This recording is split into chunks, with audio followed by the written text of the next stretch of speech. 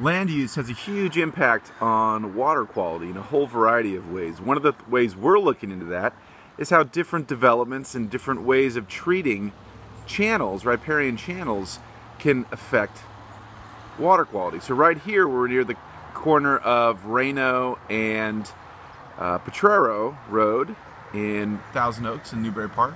And here you see a traditional, um, hardcore, hard engineering approach to dealing with water, which is basically get it out as fast as possible, get it off the landscape as fast as possible. This development here went in in the 70s, and back then the idea was put storm drains, storm drains into larger concrete channels and in larger concrete channels and larger concrete channels, eventually dumping into the Conejo um, River and the Conejo Creek, and then into Calleguas Creek, and then into the ocean. So if you look here, we have hard walls, straight up and down, no vegetation. Right now, we've just had about, uh, about three quarters to an inch of rain over the last uh, 12 hours here, uh, and it's fairly high right now. It's about mm, 20 centimeters deep right now.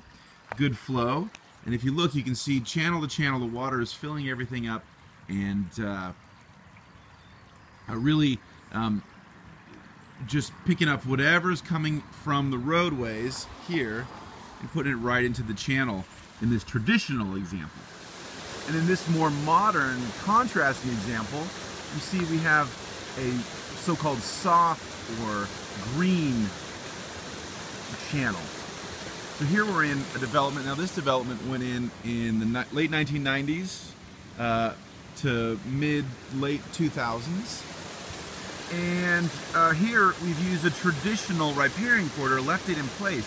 So that now when we have runoff that's coming off the street here, that's going to go uh, firstly through this vegetation and all this uh, buffering um, ecosystem before it gets to the channel. The channel itself, which is hard to see right now, channel itself is a couple meters deep in the middle. This, we're just at the very bottom of it right here. Again, this is only about a mile or so from our last site.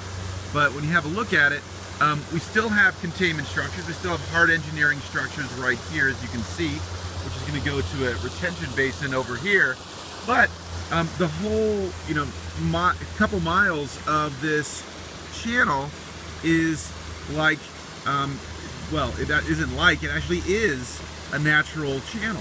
So we get all the benefits of the water cleaning, the water filtration, etc. You can see right here that we have a fair amount of, if we look closely at this water, it's not pure white, it's not pure clear. It's picking up the sediments, etc.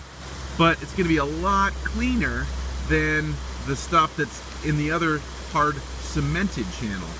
So here we see higher oxygen, we see um, just about every metric we can pick, things are doing better, water quality is better here in this natural buffered channel as opposed to an artificial concrete box.